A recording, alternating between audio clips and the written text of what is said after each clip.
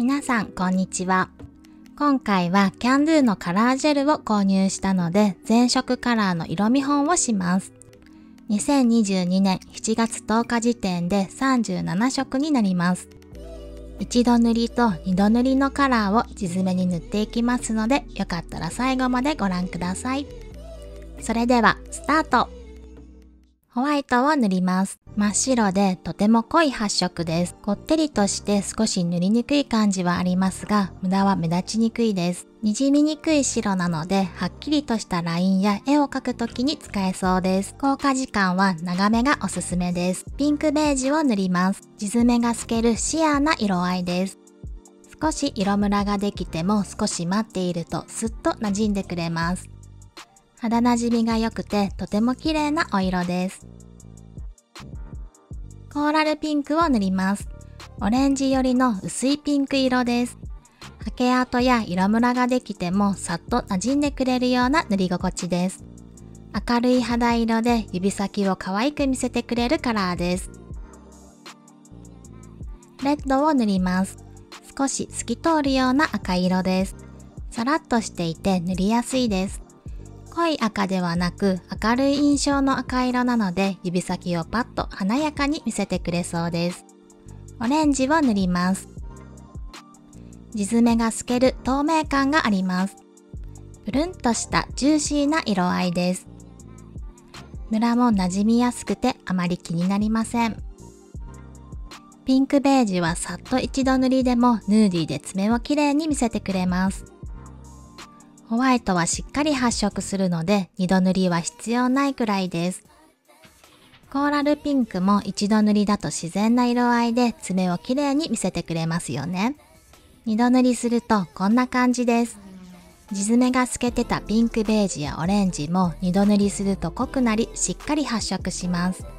レッドとオレンジは色合いは濃くなりましたが透き通ったような色の雰囲気です。個人的にこのピンクベージュがすごく上品な色合いで気に入っています。ナチュラルで指先をきれいに見せてくれますよね。ホワイトは本当に真っ白なので、ベタ塗りすると爪が浮いた感じになってしまいます。イエローを塗ります。透明感のある黄色で、キャンドゥのレモンイエローに比べて山吹色に近い濃いめの色合いです。色ムラができやすく塗りにくいですが、パッと爪を明るく見せてくれます。アクアグリーンを塗ります。少し緑がかったような水色です。綺麗な海のような色合いで夏に使えそうです。少しハケ跡が残りやすい印象です。アクアブルーを塗ります。透け感のあるシアーな色合いです。色ムラができても目立たないようなカラーです。くすんだブルーで可愛いです。ラベンダーを塗ります。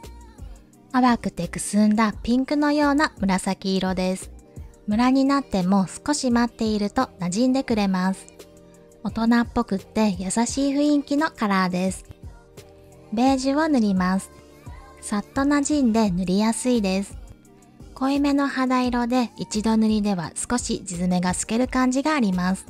さっと一度塗りだと自然な色合いですが、私の肌には少し合わない感じでした。今回塗った色は全体に少し透け感があります。アートによってはこのまま一度塗りでも可愛くなりそうですよね。二度塗りするとこんな感じです。アクアグリーンはしっかり発色してムラがなくなりました。イエローも色は濃くなりましたが透き通った雰囲気は残っています。シェア感のあったアクアブルーは二度塗りで地詰めがほぼつけなくなりました。アクアブルー、ラベンダー、ベージュのくすんだ色合いが可愛いですよね。ブラウンを塗ります。肌に溶け込むようなまろやかな茶色です。ジェルが馴染みやすくて塗りやすいです。絶妙な色合いでワンカラーはもちろんニュアンスやアートも映えそうなカラーです。グレーを塗ります。透け感があるかなりシアーな色合いです。色ムラになっても目立ちにくいです。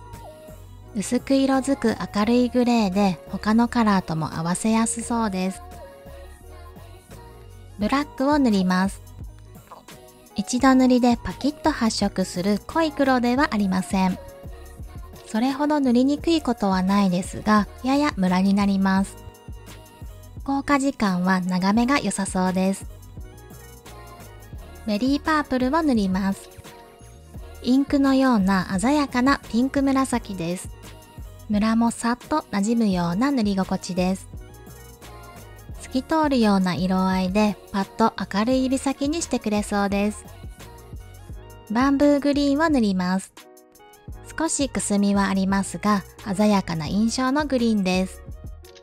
ムラになっても少し待っていると馴染みます。透明感があって明るいネイルにしてくれそうです。ブラウンやグレーは一度塗りでも肌なじみが良く万能に使えそうです。ブラック、ベリーパープル、バンブーグリーンは透き通った色合いで一度塗りでも透け感を楽しめそうです。二度塗りすると地爪はほぼ透けなくなりました。ブラックもしっかり発色しましたが、ツヤ感のある雰囲気です。透け感の強かったグレーも二度塗りすると若干透け感はありますが、色づきが濃くなりました。ベリーパープルやバンブーグリーンもさらに鮮やかになりました。個人的にはブラウンがかなりお気に入りです。レモンイエローを塗ります。キャンドゥのイエローに比べると明るい黄色で蛍光っぽいカラーです。ムラができやすく少し塗りにくいです。透明感があってレモンのようなみずみずしい色合いです。ファッションピンクを塗ります。蛍光ピンクのように明るいカラーです。さらっと塗りやすくムラも気になりません。夏ネイルに映えそうな鮮やかな色合いです。ライムグリーンを塗ります。蛍光のように明るい黄緑色です。ムラになっても目立ちにくい感じがします。とっても鮮やかで夏に使いたくなるような色合いです。ターコイズブルーを塗ります。鮮やかな水色です。少しムラになりますが、待っていると馴染んでくれます。パッと明るいカラーでフットネイルに塗っても可愛くなりそうです。グリッターゴールドを塗ります。細かいゴールドラメがぎっしりと入っています。落ち着いた色合いのゴールドで綺麗な輝きです。ラメラインにも使えそうです。眩しいくらい鮮やかな色合いで元気になれそうなカラーですよね。夏ネイルに使えそうなカラフルな色合いで、こんな感じで指ごとに色を変えても可愛いかもしれません。二度塗りするとこのようにさらに発色し鮮やかさが増しました。グリッターゴールドもラメ密度がアップして地爪が完全に見えなくなりました。ポップでカラフルなカラーも可愛いですよね。こんなカラーもデザイン次第で意外と使えそうです。パールシャインゴールドを塗ります。パール感のあるラメゴールドで、ラメの粒子がとっても細かいです。ハケ跡が残りやすいですが、少し待っているとある程度は馴染みます。やや透け感のあるゴールドパールで、少し黄色っぽい感じです。グリッターシルバーを塗ります。キャンドゥのグリッターゴールドよりラメの粒子が大きめです。一度塗りでは地爪が透けて見えるくらいのラメ密度です。パールシルバーを塗ります。色合い的には白っぽいグレーのような感じでハケ跡が出やすいです。とっても細かいパールの粒子でアルミのようなシルバーです。グリッターピンクを塗ります。キャンドゥのグリッターゴールドと同じようなラメ感で細かい粒子です。肌なじみの良いピンクゴールドのラメで個人的に好きな色合いです。ギラギラしすぎず品の良いキラキラ感です。パールピンクを塗ります。肌なじみの良い淡いベージュピンクのような色合いです。パール感があるので上品な印象になります。少しハケ跡は残りますが塗りやすいです。パールが入るとまたネイルの雰囲気が変わりますよね。普通のカラーやラメとは違った質感を楽しめそうです。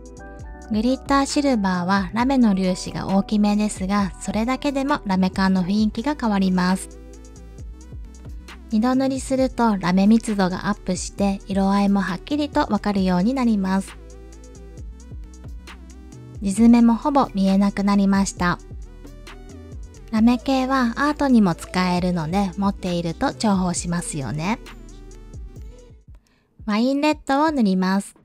透け感のあるシアーな色合いです。少し色ムラになりますが、それが逆に可愛く見えそうな感じがします。落ち着いた深い赤色で綺麗なお色です。モスグリーンを塗ります。地爪が透けて見えるような透け感があります。渋い緑色でおしゃれなカラーですよね。色ムラもニュアンスのように見えてしまう、そんなお色です。秋冬に活躍しそうです。マロンブラウンを塗ります。赤みのあるまろやかなブラウン色でとってもいいお色です。ムラも馴染んでいくようなテクスチャーで塗りやすいです。地爪が少し透けるシアーなカラーで可愛いですよね。スチールグレーを塗ります。黒っぽいグレー色です。少し透け感のあるような色合いでさらっと塗りやすいです。ワンカラーやアートなどいろいろ使えそうなカラーです。今回塗ったこの4色は秋冬カラーで透け感も同じような感じです。この何とも言えないふわっとした透け感が個人的に大好きです。二度塗りするとこのように濃く発色しました。二度塗りしてもとってもいい色合いですよね。秋冬っぽい深い色合いですが、デザインや使い方によっては季節を問わず活躍しそうです。この4色を組み合わせても色々なアートが楽しめそうです。ミルクホワイトを塗ります。かなり透け感の強いシアーなカラーです。ほんのりクリームベージュのような色合いに色づきました。かなり薄付きですが、下地カラーとして使えそうです。ミルクブルーを塗ります。とっても薄付きのくすんだブルーです。地爪が完全に透けるほどのシアーなカラーで塗り重ねる回数で色味を調整できそうです。ミルクグリーンを塗ります。塗ったかどうかわからないほどの薄い色です。ほんのりと淡い緑色に色づきました。これも塗り重ねる回数で色味を調整できそうです。ミルクコーラルを塗ります。これもかなり薄付きなカラーです。よく見ると淡いサーモンピンクに色づいた気がします。ほぼ透明ですが若干血色が良くなったような気がします。下地カラーとして使えそうです。